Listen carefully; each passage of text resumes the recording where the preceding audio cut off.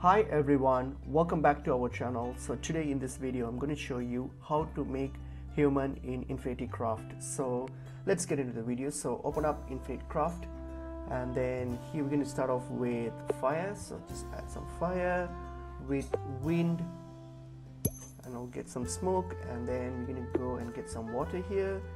Water with fire and then it's going to give you some steam and then you're going to add it with earth it's going to give you some mud. And then now we're going to get some wind with earth. And then that's going to give you some dust and then add with earth again. This will give you a planet. And then now we're going to get some smoke here. So add it with water. We'll get some fog and then add it with planet.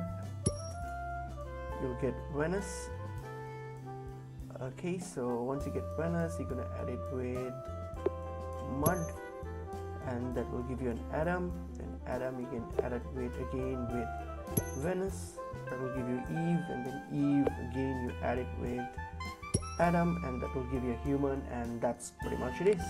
Hope this video was helpful. I'll see you in another video. Thank you